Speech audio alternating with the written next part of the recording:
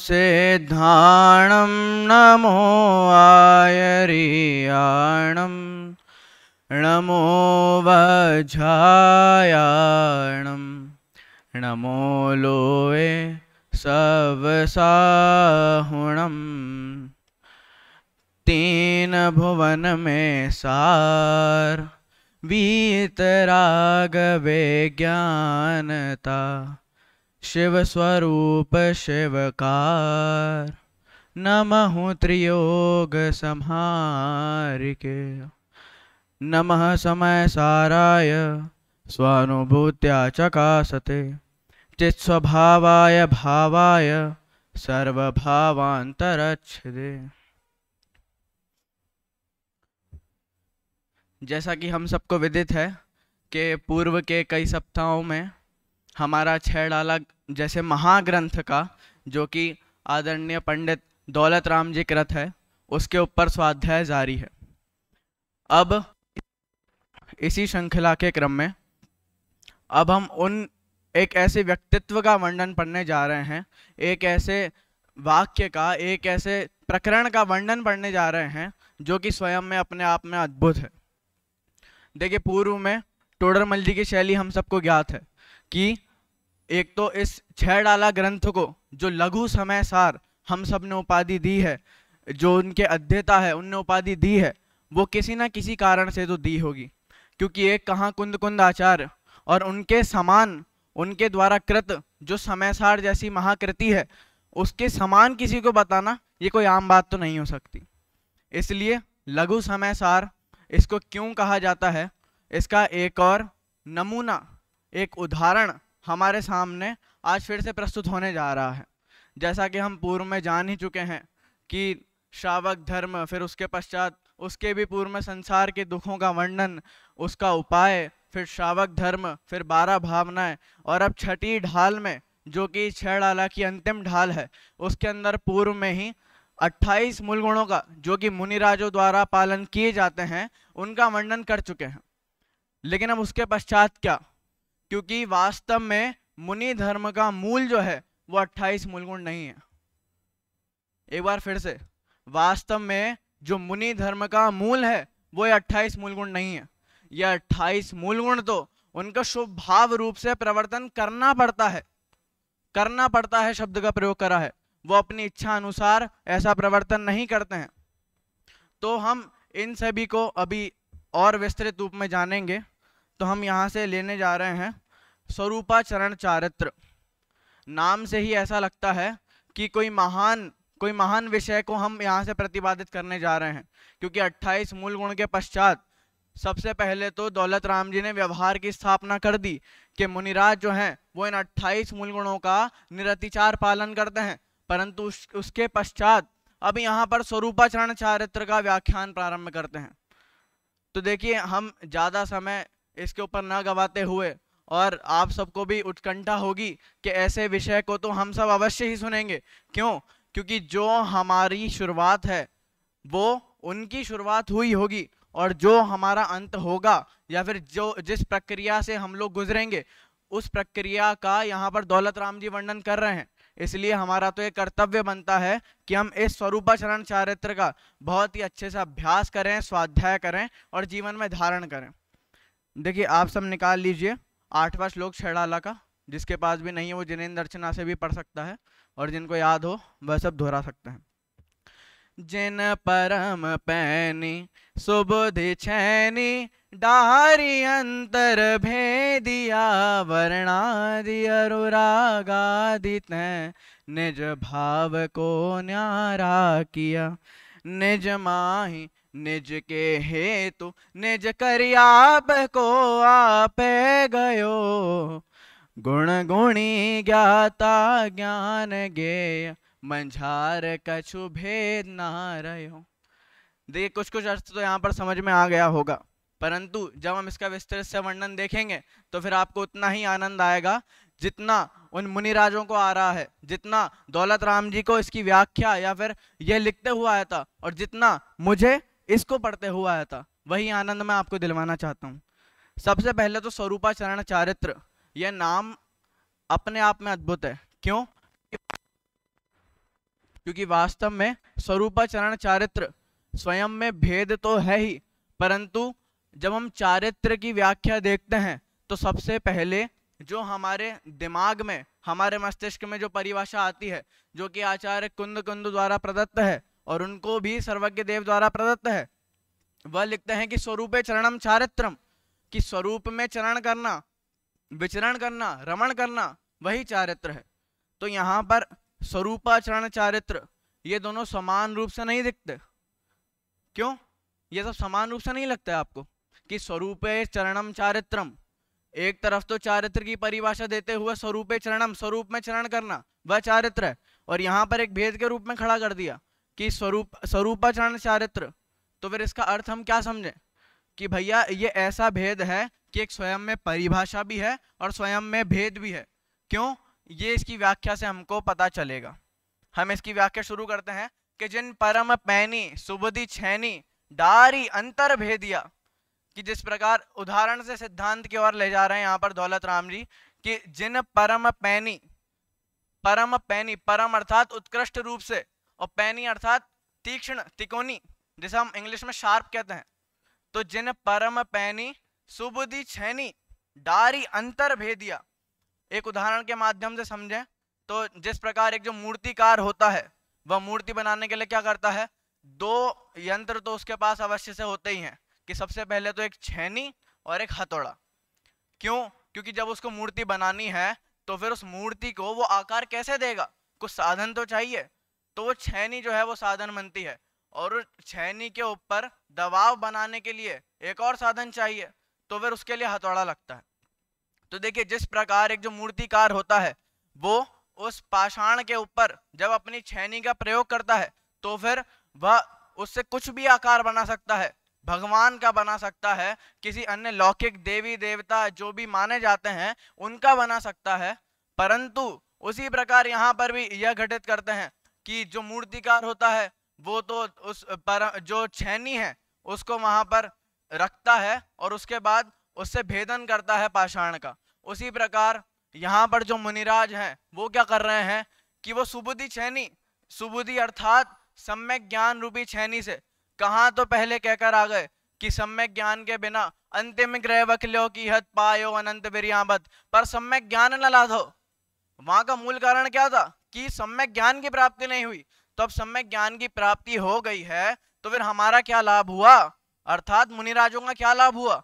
तो फिर उसको यहाँ पर बताते हैं कि सुबुद्धि छैनी डारी अंतर भेदिया कि अंतरंग में वो जो सम्यक ज्ञान रूपी छैनी थी, उसको डारा, अर्थात डाला, और उससे क्या करा? कि भेदिया।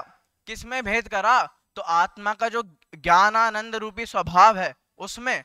और जितने भी यहाँ पर रागादि भाव हैं और किसका भेदन करा, वो भी अगली पंक्ति में बताने जा रहे हैं। और ये अगली पंक्ति पढ़ने के बाद जितना आनंद समय सार के अध्येताओं को आएगा, उतना आनंद शायद शायद तक ही हमको आ सकता है। कि अगली पंक्ति में क्या कहा? कि वर्णादि अनुरागादित निज भाव को न्यारा क्या कि वर्णादि अनुरागादि अर्थात यहाँ पर जब हम समय सार का अध्ययन करेंगे तो वहाँ पर स्वयं 50 से 55 गाथाओं का एक जोड़ा है। अर्थात ये जो छह गाता है, ये एक साथ आती है, जिसके अंदर 29 बोल गिनाए गए हैं, आचार्य कुंद कुंद द्वारा। और उसके अंदर ही वह आत्मा को पूरे 29 उनतीस चीज़ें गिनाई हैं, उन सबसे भिन्न बताते हैं। उसमें क्या कर दिया? वर्णादि अर्थात स्पर्श, रस, गंध, वर्ण, और किस किस से अलग है? कि संहनन, संस्थान, सबसे अलग बताया, और तो और गुणस्थान से भी अलग बताया। ये देखिए आप, गुणस्थान, जो कि एक पृथक से महाविषय है, एक अलग से अद्भुत विषय है, उससे भी भिन्न बता दिया। तो ये कैसी बात हुई? तो उसका यहाँ पर स्पष्टीकरण करते हैं कि जिन परम पैनी, सुबुद्धि छैनी, डारी अंतर भेदिया वर्णादि अरु रागादि रागादि से यहाँ पर क्या अर्थ लेना है? तो रागादि अर्थात जितने भी भाव कर्म द्रव्य कर्म और नौ कर्म है, उन सबसे भी भिन्न बता दिया। जैसे कि हम कर्मों का चक्कर पड़ते ही हैं। क्यों? कि द्रव्य कर्म से भाव कर्म भाव कर्म से द्रव्य कर्म तो जब इनसे भी भिन्न बता दिया तो फिर संसार का ये जो चक्र व्यू है, ये बचेगा क्या? अर्थात इससे यह भी निर्देश करने जा रहे हैं कि भैया, ये इनके संसार का अंतिम समय आ चुका है। अब तो ये वास्तव में मुक्ति मक को प्राप्त करने वाले हैं। वर्णादि अनुरागादि ने जो भाव को न्यारा किया। न्यारा शब्द का प्रयोग करा है। यहाँ पर अलग भी नहीं करा। न्यारा न्यारा जैसे हम प्रयोग करते हैं तो बहुत अच्छे अर्थ में प्रयोग करते हैं। उसी प्रकार ये जो आत्मा का स्वभाव है ये इतना अच्छा है कि इसके लिए न्यारा शब्द प्रयोग करने की आवश्यकता बढ़ गई। फिर उसके बाद क्या क्या बोला? कि निज माही, निज के हेतु, निज कर, और आपको आपे गए कि सबसे पहले निज माही। तो भैया, ये किसके लिए किसके लिए कर रहे हैं? तो निज में। अर्थात निज में। इस पूरी पंक्ति का एक साथ अर्थ देखें। तो निज में, फिर निज के हेतु। तो किसके लिए? निज के हेतु। अपने लिए ही कर रहे हैं। किसी दूसरे के लिए हम ये 28 मूल गुणों का पालन नहीं कर रहे। ये जो हम सुबुद्धि छैनी से आत्म स्वभाव और बाकी सब जो कर्म है, उनको किसी दूसरे के दूसरे के लिए हम भिन्न नहीं कर रहे हैं। वास्तव में हम हमारे हित के लिए, ये जो आत्मा का स्वभाव और बाकी जितने भी अन्य हैं, उनको हम भिन्न कर रहे हैं। फिर निज कर आपको आपे गयो ज़्यादातर हम जिन वाणियों के अंदर प्रयोग देखेंगे तो फिर जैसे लौकिक में तो हम प्रयोग करते हैं कि आप सब मेरे प्रवचन सुन रहे हैं। तो आप तो किसके पर के लिए पर के लिए प्रयोग करा गया? परंतु जनवाणी में ज़्यादातर आपका अर्थात आत्मा के लिए ही प्रयोग करा गया। क्यों? क्योंकि वास्तव में आप भी आप भी जो है आत्मा ही है। फिर उसके बाद अगर देखेंगे तो आपको आपे गए हो कि एक तो आत्मा में ही ऐसा प्रक्रिया चल रही है। आत्मा के लिए ही हमने ये जो ऊपर भेद विज्ञान करा है वो है।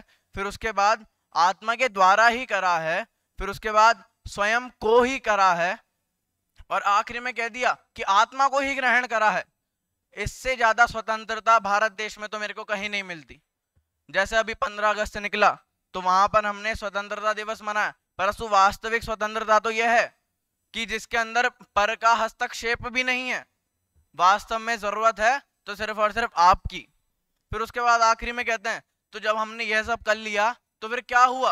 अब इसके बाद लगातार दो छंदों के अंदर दौलत राम जी ये बताते हैं कि स्वरूपाचरण चारित्र से जो अभेद दशा प्रकट होती है तो वास्तविकता में जो भेद है, ये किन किन के बीच में खत्म हुआ था? अब उसके बाद अगले में बता दिया कि गुण गुणी, अर्थात गुण गुणी, फिर उसके बाद बता दिया ज्ञान, ज्ञाता गे ये सब जितने भी हम वर्तमान जगत में अभी हम प्रयोग करते हैं कि आत्मा इतना गुणवान है और उस गुण के अंदर उस गुण, वो गुण किसके आधार पर टिके हुए तो मेरे आत्मा के, अर्थात मैं क्या हुआ? गुणी। ये जो भेद हमने करा, इसका भी वहाँ पर नष्ट हो जाता है ये भेद भी। फिर उसके बाद क्या बोला? ज्ञान, ज्ञाता, ज्ञेय, कि मैं जानने वाला हूँ। किसको जानता हूँ? तो ये मेरे सामने जो अनमोल बैठा है, मैं उसको जान रहा हूँ। फिर उसके बाद ये जो जानने की प्रक्रिया हो रही है तो यहाँ पर, यहाँ से लेकर वहाँ तक हमने तीन भेद खड़े करे। ज्ञाता ज्ञान और ज्ञेय। तो ये जो भेद है, यह भी वहाँ पर खत्म हो जाता है। फिर कछु भेद न रहे हो कि अभी तो ये शुरुआत है, बस शुरुआत बताई है कि किन किन का भेद खत्म होता है। अब जब हम अगले वाले छंद पर देखते हैं तो एक बार अगले वाले छंद का पाठ करते हैं कि जहाँ ध्यान ध्याता ध्येय को न विकल्प वच भेद न जहाँ, चिद भाव कर्म चिदेश करता। चेतना क्रियाता तीनों अभिन्न अखिन्न शुद्ध उपयोग की निश्चल दशा। प्रगटी जहाँ दृग ज्ञान व्रत, ये तीन धा एक कैलसा। और किस किस का और किस किस के अंदर अभेदात्मक अभेदात्मक जो रूप है वो प्रकट हुआ? तो जहाँ ध्यान, ध्याता, ध्येय, ये तीनों मुनिराज के अंदर सबसे मुख्य होते हैं। क्यों? क्योंकि वास्तव में जो शुक्ल ध्यान रूपी अग्नि है, वो तो इससे प्रकट होती है ध्यान से। ध्यान अर्थात क्या? कि निज आत्मा में रमणता, वही ध्यान है। तो ये भी भेद नहीं रहता कि हाँ नहीं रहता। कि हम कैसे मान लें? तो दौलत राम जी स्वयं ही लिखते हैं ना, कि जहाँ ध्यान, ध्याता, ध्येय और उसके बाद न विकल्प तहा किसका विकल्प नहीं रहता?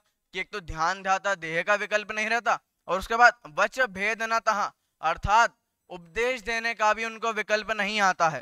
फिर उसके बाद क्या कहा? कि चिद भाव कर्म चिदेश करता चेतना क्रिया तहा कि वास्तव में तो फिर यह हम देखें तो ये कर्म करता और क्रिया ही हुई। क्यों? क्योंकि मैं करता हुआ, जानने वाला, अर्थ अथवा ध्यान करने वाला। और ये जो ध्यान है, या फिर ये ज्ञान है, ये क्या हुई? क्रिया हुई। और उसके बाद मैं जिसका ध्यान कर रहा हूँ या फिर मैं जिसको जान रहा हूँ, वो क्या हुआ? वह ज्ञेय या फिर ध्येय हुआ तो ये भेद भी वहाँ पर नहीं रहता। तो फिर क्या, कौन है इसका आधार? कि चिद भाव, चिदेश और चेतना। यही है, कर्ता, कर्म, क्रिया। अर्थात कर्म, कर्ता और क्रिया, यही बाकी रह गया। कि चिद भाव अर्थात ये जो चैतन्य भाव है, यही वास्तविकता में कर्म है। कर्म अर्थात जिसको हमने जाना। फिर उसके बाद चिदेश चिदेश अर्थात आत्मा है, वही उस जानने का करता है। और उसके बाद चेतना ये जो चेतना रूप, ज्ञान और दर्शन रूप जो हमारा स्वभाव है, वही यहाँ पर क्रिया है। फिर उसके बाद क्या कहा? कि तीनों अभिन्न, अखिन्न, शुद्ध, उपयोग की निश्चल दशा, कि कौन तीनों? की जो कर्म, कर्ता और क्रिया, ये जो तीनों बताया, और किसके आधार पर है? तो आत्मा के आधार पर है। कि इसलिए यहाँ पर पहले स्पष्ट कर दिया कि तीनों अभिन्न, अखिन्न और किसकी निर्मल दशा है? शुद्ध उपयोग की निर्मल दशा। क्यों? क्योंकि यहाँ पर वर्णनी स्वरूपाचरण चारित्र का चल रहा है। और जब आप छड़ाला के अंदर देखेंगे तो स्वरूपाचरण चारित्र हेडिंग डाली और उसके पास ब्रैकेट में लिखा है कि शुद्धोपयोग। अर्थात स्वरूपाचरण चारित्र ही शुद्धोपयोग है। इसलिए यहाँ पर पहले स्पष्ट कर रहे हैं दौलत राम जी के जो कर्ता कर्म क्रिया, ये जो भेद है, वास्तव में तो शुद्धोपयोग की ही निश्चल जता है, निश्चल दशा है। फिर उसके बाद अंतिम पंक्ति में क्या कहते हैं? कि प्रगति जहाँ दीर्घ ज्ञान व्रत, ये तीन धा एक लसा अर्थात, जहाँ पर हमारा वास्तविक दर्शन, ज्ञान और चारित्र, यह सब प्रकट हो जाता है, तब इनके अंदर हमको भेद स्वतः ही नहीं दिखाई देता। अर्थात, ये तीनों हमको अभेद आत्मा के एक ही लगते हैं। क्यों? क्योंकि इन तीनों का आधार जो है, वह तो आत्मा ही है। तो फिर हम भेद किस आधार पर करें? इसलिए वास्तव में तो आत्मा ही करता है, आत्मा ही कर्म है और आत्मा को जानना ही क्रिया है। अब इसके बाद इसका ही खुलासा करते हुए और वर्णन करते हैं अगले दसवें छंद में कि परमाण नय निक्षेप को, गा के ही पढ़ते हैं, परमाण नयन क्षेप को नवद्योत अनुभव में दिखे द्रग ज्ञान सुख बलमय सधा नहीं आन बान जु। में मोविक है मैं साध्य साधक, मैं अबाधक। कर्म अरुत सुफल निते। चिद पिंड चंड अखंड, सुगुण करंड च्युत पुण्य कलनित अब क्या बात कर रहे हैं कि स्वरूप वास्तव में लक्षण बता रहे हैं कि क्या है? तो अभी जो हम अभेदात्मक जान रहे थे, उसी के क्रम में और क्या बताते हैं कि प्रमाण नए, निक्षेप। इन तीनों इन तीनों में भी हमको भिन्नता भाषित नहीं होती। अर्थात शुद्धोपयोग की दशा में ये तीनों भी हमको भिन्न भाषित नहीं होते। कैसे? तो देखिए, प्रमाण और नय क्या है? जैसे कि तत्वार सूत्र में स्वयं तत्वार्थ सूत्रों में स्वयं आचार्य जो उमा स्वामी है, वह कहते हैं कि प्रमाण नय अधिगम कि जिन पूर्व में हम तत्वों की बात करते आ रहे हैं, उनको जानने का जो अधिगम है, वो क्या है? प्रमाण और नय तो अधिगम के अंदर भी भेद नहीं रहता कि नहीं रहता? वास्तव में वो आत्मा को ही जानते हैं, आत्मा के द्वारा ही जानते हैं, आत्मा के लिए ही जानते हैं और उनका सब अगर दर्शन, ज्ञान, चरित्र कहें तो वो आत्ममय हो चुका है। इसलिए यहाँ पर एक परसेंट भी उनको भेद नहीं दिखता। फिर उसके बाद का प्रमाण नए निक्षेप, कोना उद्योत अनुभव में दिखे? उद्योत अर्थात प्रकट रूप से भी नहीं दिखता। तो फिर क्या है? दृग ज्ञान सुख बलमय सदा नहीं आन बान जो मोह विखे। अर्थात कि जो हम अनंत चतुष्टय के नाम सुनते हैं, जो कि शुद्धोपयोग के फल स्वरूप में प्रकट होते हैं, उसका ही उनको वहाँ पर निरंतर ज्ञान चलता रहता है कि मेरा स्वभाव कैसा है कि अनंत दर्शन में है, अनंत ज्ञान में है, अनंत वीर में है, अनंत सुखमय है। तो यही उनको वहाँ पर लगातार ज्ञान चलता रहता है। इसलिए, और जैसे कि हमें पूर्व में पढ़ा कि सुबुद्धि छैनी, उसको ही समय सार में भी कहते हैं कि जिस भांति प्रज्ञा छैनी से, पर से विभक्त किया इसे, उस भांति प्रज्ञा छैनी से ही अरे ग्रहण करो इसे। वहाँ पर तो खैर आत्मा और बंध इन दोनों के बीच में भेद खड़ा करना था। तो वहाँ पर भेद विज्ञान की प्र, प्रक्रिया बताते हुए वहाँ पर भी प्रज्ञा शैनी का इस्तेमाल करा। प्रज्ञा शैनी जो शब्द है उसका प्रयोग करा। फिर उसके बाद क्या कहते हैं कि मैं साध्य मैं साधक ये भी वहाँ पर भेद नहीं रहता है। कहाँ पर? कि जो मुनिराज शुद्धोपयोग की दशा में बैठे हैं ये भी भेद वहाँ पर नहीं रहता। वास्तव में क्या है? मैं आबादक कि भैया मैं किसी के किसी के भी द्वारा बाध्य नहीं हूँ। यही वहाँ अव्याभात जिसे हम कहते हैं। तो अव्याभात वहाँ पर उनके अनुभूति में प्रकट होता है कि वास्तव में मेरे को एक कर्म, राग द्वेष आदि, वर्ण आदि, ये कुछ भी मेरे को मेरे आत्म स्वभाव के पास जाने के अंदर बाधा नहीं पहुँचा सकते। ये उनकी अनुभूति में चल रहा है। फिर उसके बाद कर्म अरुतसु थे कि जो द्रव्य कर्म, भाव कर्म, नौ कर्म, ये सब जो हमने पूर्व में गिनाए, कि इनके फल से भी मैं भिन्न हूँ। फिर उसके बाद अंत में कहते हैं कि चिद पिंड चंड अखंड सुगुण करंड चुद पुनि कलनित अगर वास्तव में किसी लौकिक या फिर किसी अलंकारिक व्यक्ति को ये पंक्ति दिखाई जाए तो फिर वो भी सोचेगा कि ये किस कवि ने लिखी है तो वो तो दौलत राम जी ही लिख सकते हैं कि चिद पिंड चंड अखंड सुगुण करंड चुद पुनि कलनित कि चिद अर्थात चैतन्य का पिंड हूँ फिर और क्या हूँ कि चंड अर्थात निर्मल और ऐश्वर्यवान हूँ अखंड कि मेरे मेरे, मुझे कोई भी खंडित नहीं कर सकता। अर्थात मेरा जो ज्ञान और सुख स्वभाव है, उसको कोई भी खंडित नहीं कर सकता। और बाद में क्या कहा सुगुण करंड जो हमने रत्नकंड श्रावकाचार में पढ़ा था। रत्नकरण का अर्थात क्या पढ़ा था? कि जो सम्यक दर्शन, ज्ञान और चारित्र, ये जो तीन रत्न है, इनको संभालने के लिए जो करंड अर्थात पिटारा है, वो रत्न करंड है। वैसे यहाँ पर सुगुण करंड की मेर में जो अनंत शक्तियाँ हैं मेर में जो अनंत गुण है, उनको वास्तव में संभालने वाला कौन है? उनका आधार कौन है? तो यह आत्मा। शुद्ध पुनि कलनित, और जितने भी अशुद्धता है, अर्थात जो राग भाव है, द्रव्य कर्म है, नौ कर्म है, वास्तव में मेरे थे ही नहीं। और फिर इसको ही आगे फल स्वरूप में स्पष्ट करते हैं। तो देखिए, जैसे कि आप जानते हैं कि बढ़िया बुद्धि किसे कहते हैं? कि जो पहले अपने हित के बारे में सोचे कि अगर मैं ये व्यापार करूँगा तो इससे मेरे को कितना मुनाफा होगा? तो वैसे ही, अभी तक तो हमने स्वरूपाचरण चारित्र के बारे में पढ़ा, लेकिन अब हम, अगर जिस श्लोक से हमने प्रारंभ करा, उसके एक श्लोक पहले जाएँगे तो वहाँ पर उनने छाया छोड़ दी। क्या छाया छोड़ दी? कि यो जैसा होत प्रगटे अपनी निधि, मिटे पर की प्रवृत्ति सब। कि वास्तव में स्वरूपाचरण चारित्र का फल क्या होता है? कि जिसके होने पर, अर्थात जिसके प्रकट होने पर, जो पर की जितनी भी अपनी प्रवृत्ति है, कर्तृत्व बुद्धि, ममत्व बुद्धि, एकत्व बुद्धि, जितनी भी प्रकार की बुद्धि है, जितनी की प्रकार की प्रवृत्ति है, वो सब क्या होता है तो मिट जाती है। वास्तव में स्वरूपाचरण चारित्र का यही फल है। और जब हम इसके बाद वर्णन देखेंगे तो स्वरूपाचरण चारित्र और अरिहंत दशा, इनके बीच में कोई विषय आया ही नहीं। अर्थात जब हम स्वरूपाचरण चारित्र अर्थात शुद्ध उपयोग की, जब हमारी निरंतरता बनी रहती है तो अरिहंत दशा से नीचे तो कोई दशा प्रकट नहीं होने वाली है। इसलिए इसके बाद वो अरिहंत दशा का ही वर्णन करते हैं, जो कि हम दिन में ही सुन चुके हैं। इसलिए जो अरिहंत दशा है, उसके पूर्व यहाँ पर दो पंक्तियाँ देते हैं। कि चिंतन निज में थिर भये, तेने अखत जो आनंद लयो, सो इंद्र नाग नरेंद्र वा। अहमेंद्र के नाही कहो कि वास्तव में, स्वरूपाचरण चारित्र में और शुद्ध उपयोग की निरंतरता में जो उनको आनंद रूप फल मिला है, जो उनको आनंद की अनुभूति हुई है, वो किसके द्वारा कथित है? दौलत राम जी कह सकते हैं क्या? नहीं। समय सार बता सकता है क्या? नहीं। और कोई सर्वज्ञ देव द्वारा भी कथित नहीं हो सकता। क्यों? क्योंकि उस आनंद का मार्ग वो बता सकते हैं, लेकिन उस आनंद की अनुभूति, वो तो अनुभूति ही विषय है।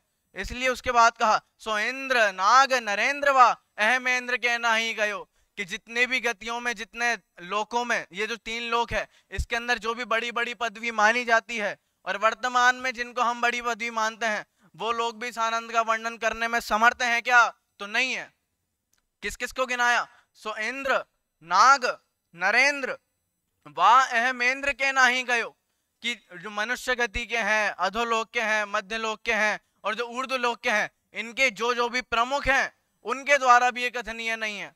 तो वास्तव में तो इनका फल यही है, इनका सार यही है कि हम भी मुनिराज बनने के मार्ग पर चलें। सम्यक दर्शन, ज्ञान, चारित्राणी, मोक्ष मार्ग, इसका वास्तव में हम अर्थ समझें। और जो स्वरूपाचरण चारित्र है, जो शुद्धोपयोग है, हम भी उसको धारण करने का भाव प्रकट करें और शीघ्र ही शीघ्र हम भी उस शुभोपयोग से शुद्धोपयोग की ओर बढ़े। या फिर अशुभ अशुभ उपयोग से शुभ उपयोग की ओर और, शुभ से शुद्ध उपयोग की ओर बढ़े। और इसके बाद जो हमको फल मिलने वाला है अरियंत दशा और उसके पश्चात जो चार अघातिया कर्म बाकी हैं तो वो सिद्ध दशा में सिद्ध दशा में जो आठ जो मेन मूल शक्तियाँ हैं जब वो प्रकट होगी आठ जो मूल गुण हैं वो प्रकट होंगे तब हमको जिस आनंद का अनुभव होगा वैसा आनंद पूरे संसार में कहीं नहीं है पूरे तीन लोक में कहीं नहीं है इसलिए सार इसी में है। कि हम भी उस मोक्ष मार्ग पर चलें और उस मोक्ष रूपी पर्याय को प्रकट न करें। क्यों? क्योंकि हमको मोक्ष पर्याय को प्रकट नहीं करना है। वास्तव में हमें तो अपनी आत्मा की अनुभूति करनी है। और उस मोक्ष देखिए जो बड़े पंडित जी हैं उनका एक बहुत ही प्रसिद्ध वाक्य है जिसका भाव तो कुछ इस प्रकार ही है कि उस मोक्ष को अगर मेरी ज़रूरत हो तो हो परंतु मेरे को मोक्ष की ज़रूरत नहीं है। मैं तो अपने आन, आत्मा के आनंद में ही रत रहने वाला हूँ। इसलिए मूल तो आत्मज्ञान है। आत्मज्ञान ही ज्ञान है, शेष सभी अज्ञान और विश्व शांति का मूल है, वीतराग विज्ञान। इसी मंगल भावना से मैं आज की चर्चा को यहीं विराम देता हूँ।